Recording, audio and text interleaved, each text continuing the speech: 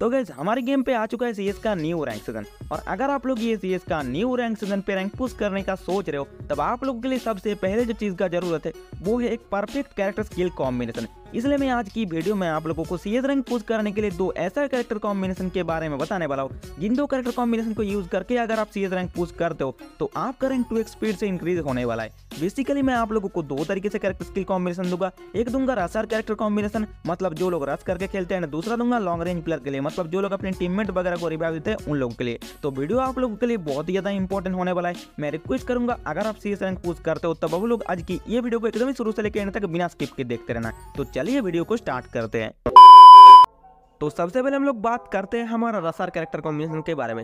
तो रसार character combination में आप लोगों को एक्टिव स्किल में जो कैरेक्टर यूज़ करना है, वो है हमारा तात्सुआ कैरेक्टर तात्सुआ कैरेक्टर का यूज़ अभी के टाइम पे बहुत ही ज़्यादा हो रहा है, क्योंकि इसका जो एक्टिव स्किल है, इसको आप लगातार तीन बार यूज़ कर सकते हो एंड वो भी सिर्फ़ एक एक सेकंड के गैप में। एंड इसका जो सबसे बड़ा खास बात है, आप जैसे ही एक्टिव स्किल यूज़ करते हो, इस कैरेक्टर का जो मूवमेंट स्पीड है, वो हद से ज़्यादा इंक्रीज हो जाता है। मतलब किसी एनिमी के ऊपर रस करते टाइम अगर आप कैरेक्टर का स्किल यूज़ करते हो तो उस टाइम आपका कैरेक्टर इतना फास्ट से आगे बढ़ता है एनिमी आपको ठीक से नोटिस भी नहीं कर पाता है। मतलब रात के टाइम भी आप लोगों को ये करेक्टर बहुत ही ज़्यादा हेल्थ देगा एंड उसी के साथ साथ अगर आप दो तीन बंदों के बीच में एकदम फंस चुके हो एंड डैमेज हो चुके हो तो उस वक्त आप इस करेक्टर का यूज़ करके उधर से भी एकदम सेफली निकल सकते हो। तो आपको ज़रूर से एक्टिव स्किल में ये तात्सुआ कैरेक्टर का यूज़ करना है। तो ये हो गया हमारा एक्टिव स्किल अभी आप लोगों को पैसिव स्किल में जो कैरेक्टर यूज़ करना है, वो है हमारा मैक्सिम कैरेक्टर एनिमीज के साथ फाइट करते टाइम हम लोग जब भी ज़्यादा डैमेज हो जाते हैं तो उस वक्त हमारे पास मेडिकेट करने के लिए ज़्यादा टाइम नहीं होता है।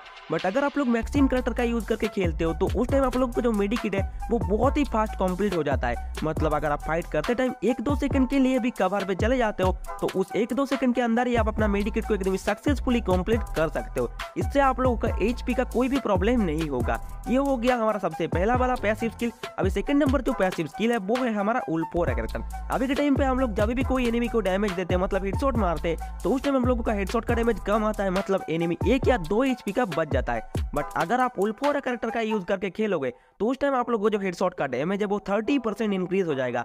मतलब आपका जो एनिमी है, उसका बचने का चांस एकदम ना के बराबर हो जाएगा। तो आपको सेकंड नंबर पैसिव स्किल में उल्फोर कैरेक्टर को भी ज़रूर से यूज़ करना है। तो ये हो गया हमारा सेकंड नंबर पैसिव स्किल अभी थर्ड नंबर पैसिव स्किल में आपको जो कैरेक्टर यूज़ करना है, वो है हमारा फॉर्ड कैरेक्टर फॉर्ड कैरेक्टर का यूज़ करने से क्या होता है, आप लोग जब भी डैमेज हो जाते हो, उस वक्त फॉर्ड कैरेक्टर से आप लोग को हर एक सेकंड पे टेन टेन करके एचपी मिलता जाता है, लगातार तीन सेकंड तक। मतलब फॉर्ड कैरेक्टर से आप लोगों को टोटल तीस एचपी मिल जाता है। एंड फॉर्ड का जो कैरेक्टर स्किल है, ये एक्टिव स्किल का यूज़ करने से रिसेट हो जाता है। मतलब तात्सुआ करेक्टर के साथ आप फॉर्ड करेक्टर को एकदम परफेक्टली यूज़ कर सकते हो। तो ये हो गया हमारा रस करके खेलने वाले बंदों के लिए परफेक्ट रसर कैरेक्टर कॉम्बिनेशन तो ये हो गया हमारा रसर कैरेक्टर कॉम्बिनेशन अभी हम लोग बात करते हैं हमारा सपोर्टर कैरेक्टर कॉम्बिनेशन के बारे में। तो सपोर्टर कैरेक्टर कॉम्बिनेशन में आप लोग को एक्टिव स्किल में जो कैरेक्टर यूज़ करना है, वो है हमारा one and only Dimitri character Dimitri character का स्किल यूज़ करने से क्या होता है? आप लोग जब भी डाउन हो जाते हो तो उस वक्त आप अपना टीममेट के हेल्प के बिना भी ऑटो रिवाइव हो सकते हो अपने कैरेक्टर स्किल की मदद से।